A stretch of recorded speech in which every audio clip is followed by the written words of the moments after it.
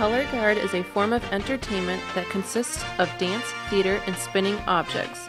Color guard can be found in most American colleges, universities, high schools, middle schools, and independent drum corps.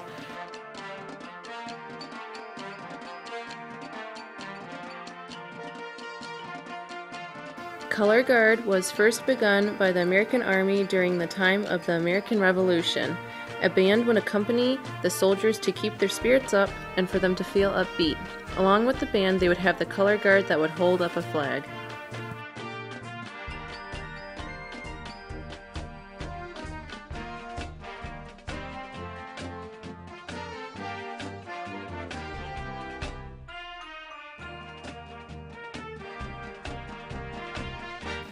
The color guard performs alongside the marching band at football games, and they will also compete in competitions during the fall. The color guard's main purpose is to interpret the music that the marching band is playing. The color guard will also use different styles and colors of silk, as well as using backdrops and other elements to bring the show to life. The members in a color guard can also range from a single person to over 50 members. This depends on the size of the band, budget, and talent from the available individuals.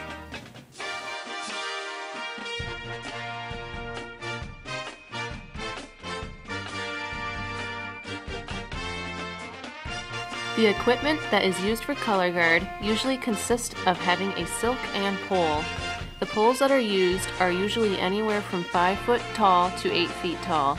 Sometimes these poles include different weights to make the flag easier to toss and move around. The weights also help out when tossing in the wind outside. The silks that are used come in all different colors and sizes.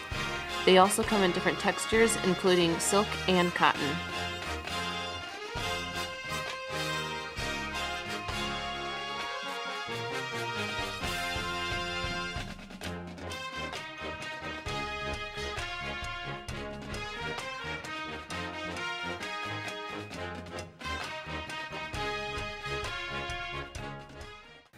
Color Guard has many moves that can be done with a flag.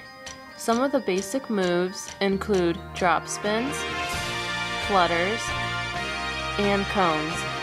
There are other moves that are used throughout shows that might require a lot of practice and time to get. These moves can be used for a lot of shows because of the simple counts being used. Other basic moves include positioning for right shoulder. This is when everyone is holding the flag at the beginning of a routine.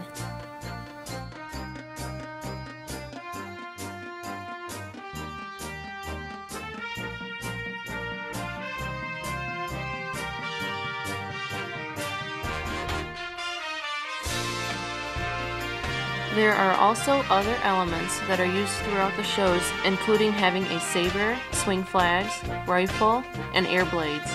These props might match the theme of the tunes that are being played. Also, there might be a few people at a time using the props or the entire guard. This makes the show visually interesting when switching elements.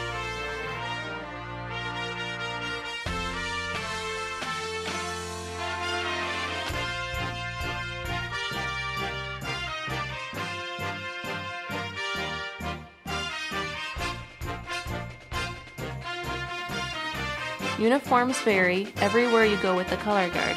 Some schools will have uniforms that match their school colors, others will have something that is completely different.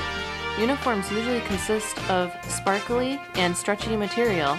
Uniforms will sometimes match the silk from the flag that they are using.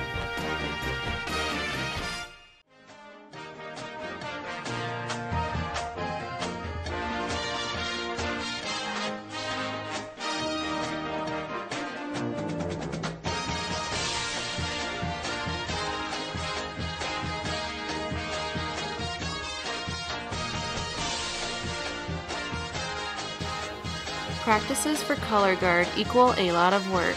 The routines need to be made up for flag feature or any drill work. This consists of knowing where you are located on the field and how far apart you are from other people. Once a routine is made up and finished, it is later taught to the rest of the guard. The practices vary in length depending on the preference of the coach or captain running the practice. Practices are a great way to measure progress of the participants' skills and ready them for performance.